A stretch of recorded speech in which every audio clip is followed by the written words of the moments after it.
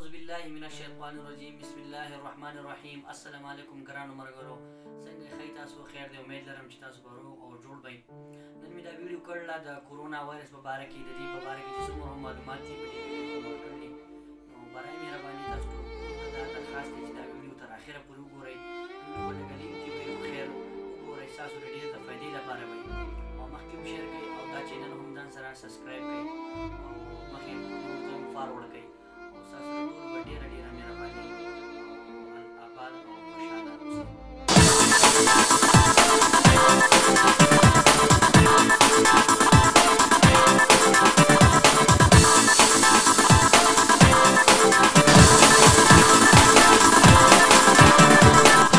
بالله من الشیطان الرجیم بسم الله الرحمن الرحیم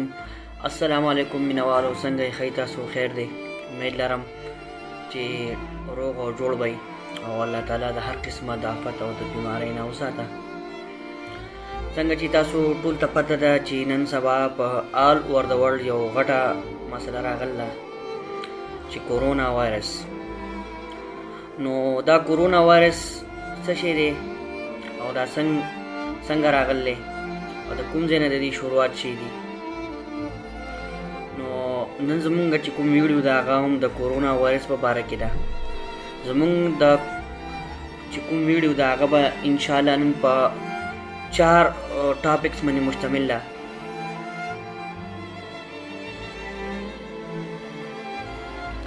هغه چار ټاپکس کې به مونږ خبره کوو چې کورونا باره کې اولنۍ خبره دا ده چې وایرس څه شی دی دویم نمبر ټاپک به زمونږ دی چې د کورونا وایرس څه شی دی او دریم نمبر خبره دا ده چې د کورونا وایرس چې کوم سیمټمز دي هغه به څنګه او څلورم نمبر خبره دا ده چې د دې به مونږه علاج څنګه کو او د دې به مونږه احتیاطي تدابیر څنګه کو نو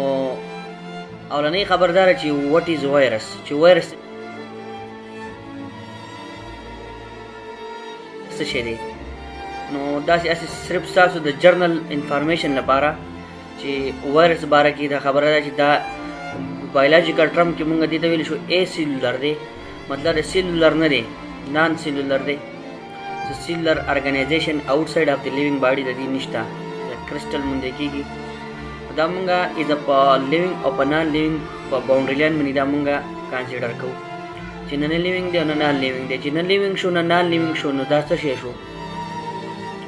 نو بیسیکلی خبردار چې د دې خپل ګروت لپاره خپل ریسپایریشن لپاره خپل ملټیپلیکیشن لپاره د دې لپاره موږ سره دا لیوینګ هوست ګوري چې کله دې ته کله هم لیوینګ هوست میلاو شو لیوینګ سیل میلاو شو نو دا به خپل ملټیپلیکیشن کوي خپل ګروت به کوي ریسپایریشن به کوي هم د لیوینګ چې کوم کریکټر دی هغه به پکې راځي د هر ارګانیزم لپاره خپل سپیسیفیک وایرس راتلی شي هر ارګانیزم لپاره سیل لپاره نو کله چې دا لیوینګ هوس دې ته میلو شو نو د مطلب دا دی چې دا خپل هغه لیوینګ کریکټر شو کوي او چې کله دې ته لیوینګ هوس نه میلاویږي آوټ سایډ د لیوینګ باډي مطلب دا چې دا بیا کرسټل فارم کې مونږ کېږي از ا نان لیوینګ شو نو لہذا چې انسایډ د لیوینګ هوست دا لیوینګ دی او آوټ سایډ د لیوینګ نو دا موږ سره نان لیوینګ دی او چې انسایډ د هوست نه مخامخه دا او به خپل هغه علامات شو کوي خپل چې کوم بیماری نه دي کوم انفیکشن دی هغه شو کوي او اصل کې د وایرس مطلب هم سره وینوم لکه زهر پویزنس ټیک شو پویزن نو مطلب دا لیوینګ باډي کې دنه نو دا خپل هغه انفیکشن شو کوي او بیماری به جوړي اوس دویم نمبر خبره راځي کورونا وایرس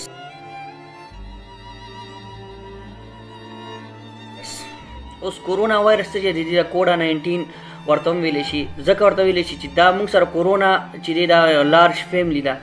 غټه فیملی ده د وایرس خو په دا کوړه وایرس 19 چې دی پکې دا پکې په 2019 کې خور ډیسکور شوی دی نو دا د هغې یو نوې سټرین نه وتی دی د کورونا د فیملی نه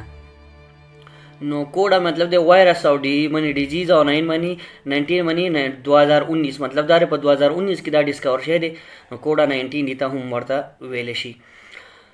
د دې چې کوم شروعات دي د بیماری انفیکشن نو هغه د چاینا ناشې دی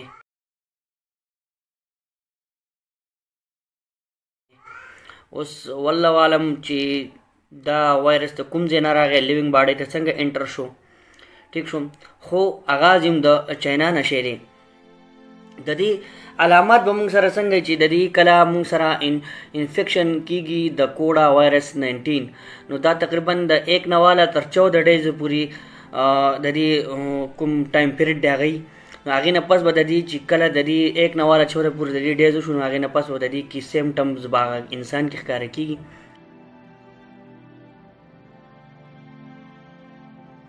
چې د دې کوم کوم سیمټمز دي نو د کې بیسیکلی عام سیمټمز دي د سې څه نوې سیمټمز پکې نشته چې هغه د څوک به پیژنې نه خو خیر د یری پکې هیڅ خبره هم نشته اولنې علامت دا چې تب به بخار مطلب فیور به او تکاوټ به ستړیواله به په جوینټس بدړي او هډک به په سر بدړي او بل اهم خبر دا چې خوش کانسی وي ډرای کف چې ورته مونږ ویل شو او بل ټول نه اهم چې کوم علامت دی هغه چې په ساغستو کې به مسله ورکی میډیکل ډیس آرډر یو انسان ته نو هغه ته به مسله کا مطلب دا ډایبیټیس شو های بلډ پرشر شو هارت فیلیور شو دسی قسمه یا لنګز یا نور دسی کډنی یا د لیور څه مسله شو نو هغه ته بلک به پرابلم جوړیږي خو نور چې کوم د ایمون سیستم چا مضبوط او د قسم میډیکل ډیس آرډر ورته نو نو الحمدلله دا 80% د خپل ریکور کیږي ځکه سپیشل ټریټمنټ د دې نه دی پکار او نه سپیشل ټریټمنټ شته اوس دې خبرې ته راځو چې د دې پریونشن مزنګ کو خپل حفاظت تدابیر حفاظتي تدابیر بسنګ کو السلام علیکم د کرونا وایرس چې کوم میډیسن دی هغه یا چې ولیکي او دا تاسو ټول ته ان شاء الله ډیر زر کو دستیاب شي او د دې علاج لکه استعمال سره استعمال دا دی چې دا په کولون کې راوي او دا چالو پر اول او کور ته باران کې کور کې وکینه د دې علاج صرف او صرف کور دی صحیح ده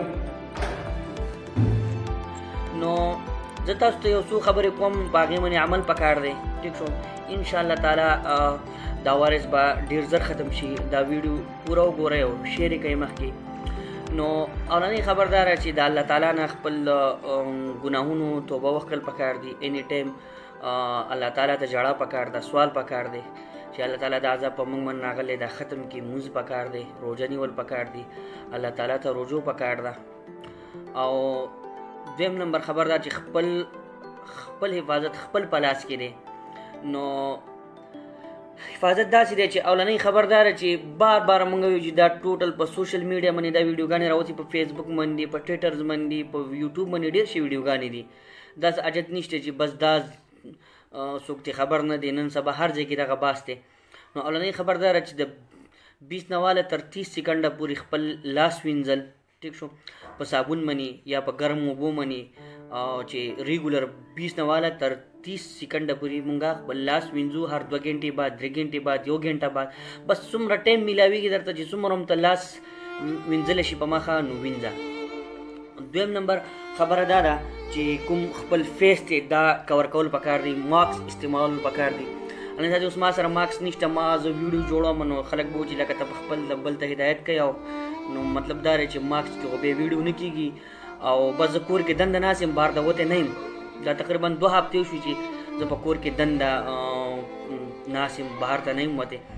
نو یو ماکس استعمالول ډېر ضروري خپل کوم چهره نوز او موت ټیک شو دا ټول پټول پکار دي خپل بیزه بیزه مونږ په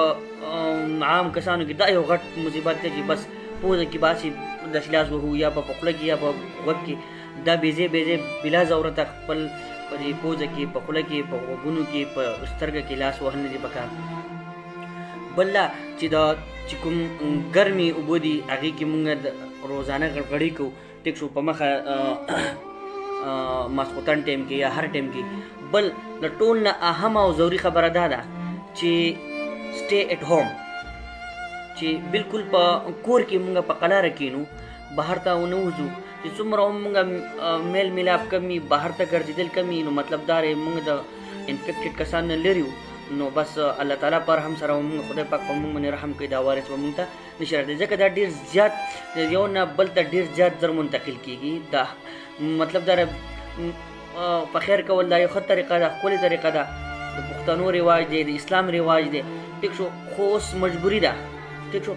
نو د پیغمبر علی السلام وینا ده چې کله یو ځای کې وبا راشي نو هغه طرف ته به تاسو نه ځئ ټیک شو او کوم ځای کې چې وبا راشي تاسو پکې نو د هغې نه به وځئ هم نه دواړو دوه خبرې دي چې کوم طرف ته وبا راشي او تاسو ترې محفوظ نو تاسو به نه ځئ ټیک شو او بل طرف ته مطلب دا چې تاسو د راشونه لګي بل طرف ته تاسو یو ځای کې وبا به تاسو منو لګي تاسو به هم بل ځای ته نه مطلب دا چې نور کسان تاسو نه متاثر نشي نو مطلب دا دی چې پیغمبر علی السلام هر یو وینا چې ده هغه ډیر عظیم وینا ده او زمونږ د لپاره یو غټ نمونه ده مونږ په کور کې دند کینو بل چې بیزه بیزه اردی ګونه غړي نه جوړو ټیک شو بازارونو کې یا په یو ځای کې بل ځای کې مونږ دا غپونه نه راغو اکثر مونږ جمعات نه پابندي ده څوک چې څوک نه چې خپل چې بیا هم د جمعات نه بهر ولاړی او بس ګپونه لګي بل دا چې رست وکړو خوب وکړو ډېر ډېر ډېر خوب ډېر ډېر آرام ټیک شو چې موږ باړۍ ته ایمیون سیستم زمونږ څه کېږي مضبوطېږي دماغ ته زمونږ انرژي راځي بل دا چې خپل ځان ګرم وساتو ځان مطلب دا ځان یو خپل ځان ګرو چې موږ ته انفیکشن ونه شي مطلب سینه خراب نه شي نمونیا جوړ نه شي نو بیا و مسله روانه ځان ګرم وساتو بل دا چې ډېر ډېر لیکوډز موږ استعمال کوو مختلف قسمه لیکټس مختلف قسمه ویټامینز ټیک شو چې هغه مونږ استعمال کو زیات تر ویټامین سی سټرس فوډ چې دا مونږ استعمال کو او بل دا چې ماسخوتن ټایم یا بل ټایم سټیم کوم اوبه ګرمول دي دا هغه ته د مونږه مخ پوزه غوګونه خوله د هرڅونه سو دا سټیم د مونږه راکاګو د سټیم مونږ د راکاګو نو جو چې هغه سره زمونږ دا چې کوم وایرس ته دا دومره هاي ټمپریچر نشي برداشت کولای چې دا غي بوجه مني دا وایرس خدای پاک څخه ختم کی او بل دغه خبرې دي چې موږ په دې باندې عمل وکړو نو ان شاء الله تعالی په دې کې دومره څه د خطرې چې نشته